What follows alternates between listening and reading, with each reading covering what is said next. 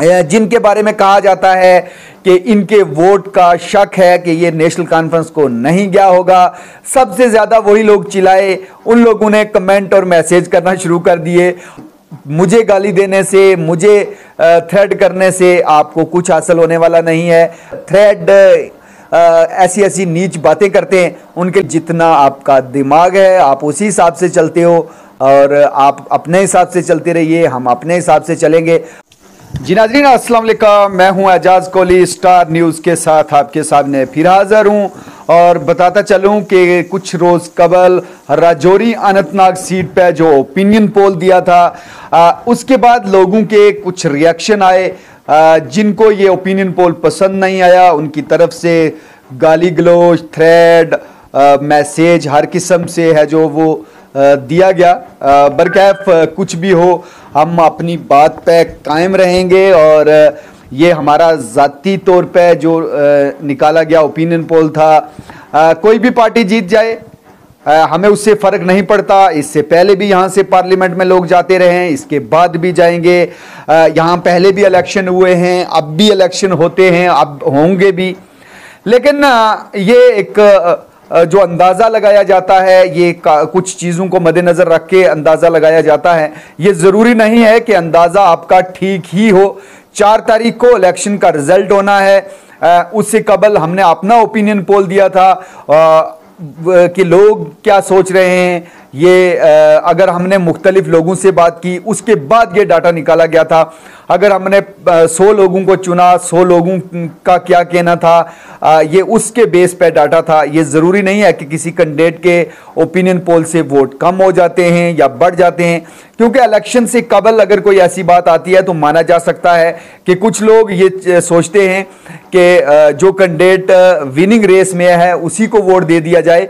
लेकिन ये इलेक्शन के बाद का जो अंदाज़ा है इलेक्शन के बाद का जो ओपिनियन पोल है इसमें ज़्यादा घबराने की ज़रूरत नहीं थी लोगों को। लेकिन कुछ लोग बगते हैं माइंड से दुरुस्त नहीं है, वो इसको पता नहीं क्या समझ बैठे कि हकीकतन पता नहीं यही रिज़ल्ट है। जी हाँ ये फाइनल रिज़ल्ट नहीं है। चार जून को रिज़ल्ट होना है। रजौरी आनंदबाग पार्लियामेंट नशिस्त और पूरे मुल्क के साथ साथ इस सीट पे भी कोई एक पार्लियामेंट में जाएगा, चाहे वो मियाँ अल्ताफ़ साहब हूँ, महबूबा मुफ्ती हूँ या दूसरी पार्टी से वाबस्ता लोग हूँ। जिसको आवाम ने चुना होगा, जिसको आवाम ने वोट दिए होंगे तो यकीनन वो लोग ज़रूर पहुँचेंगे पार्लियामेंट में। लेकिन मैं हैरान होता हूँ, वही लोग जिनके बारे में कहा जाता है कि इनके वोट का शक है कि ये नेशनल कॉन्फ्रेंस को नहीं गया होगा। सबसे ज़्यादा वही लोग चिल्लाए, उन लोगों ने कमेंट और मैसेज करना शुरू कर दिए। हाँ अगर आपको यकीन है कि हमने वोट दिया है फिर चार जून का हमको इंतज़ार करना है। चार जून को रिज़ल्ट हमारे हक में आता हुआ ज़रूर नज़र आएगा। लेकिन अगर आपने नेशनल कॉन्फ्रेंस के कैंडिडेट के हक में वोट नहीं दिया तो फिर आप वोट भी नहीं देते हो और ये उम्मीद रखते हो कि कोई जीत जाएगा। ऐसा होता हुआ नज़र नहीं आ रहा है। बरकैफ मुझे गाली देने से, मुझे थ्रेड करने से आपको कुछ हासिल होने वाला नहीं है। ये वोट ऑलरेडी हो चुके हैं 25 तारीख को। हमने एक अंदाज़ा लगाया है। आपके वोट की अगर पावर हुई तो यकीनन आप जिस कैंडिडेट को चाहते हो वो ही पार्लियामेंट में पहुँचेंगे। जो हमने डाटा निकाला, वो मैंने पहले ही बताया कि कुछ एजेंसियों के मद्देनज़र रखते हुए एजेंटों से बात करते हुए पॉलिटिकल पार्टियों के जो डाटा है, उसके हिसाब से आम लोगों के राय के बाद ये डाटा है जो मैंने आपके सामने पेश किया था। और यही माना जा सकता है कि नेशनल कॉन्फ्रेंस और पीडीपी के दरमियान राजौरी अनंतनाग सीट पर काफ़ी कड़ा मुकाबला है।